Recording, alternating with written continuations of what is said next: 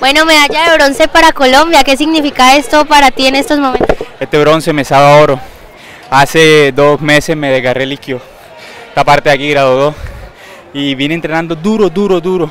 Como te dije, me sabe oro porque fueron nada más dos meses para poder recuperarme.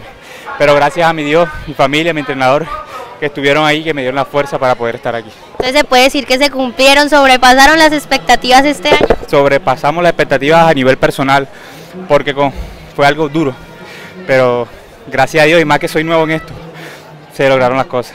Bueno, detrás de cada deportista hay una motivación. ¿Para quién le dedicas esta medalla? Mi familia que está allá arriba, obviamente primero a Dios, que es el que nos da la vida. Mi familia que está allá arriba, todos mis amigos, familiares que han estado ahí, mi entrenador, Michael Gutiérrez, y también darle gracias a Imer Castillo, quien fue también mi antiguo entrenador y aportó bastante. ¿Qué se viene ahora para ti? Ahora vamos a ver, hay posibilidad de ir al Mundial ahora en julio y a finales en octubre los Juegos Suramericanos. Listo, muchísimas gracias y felicitaciones. Muchísimas gracias a ustedes. Gracias.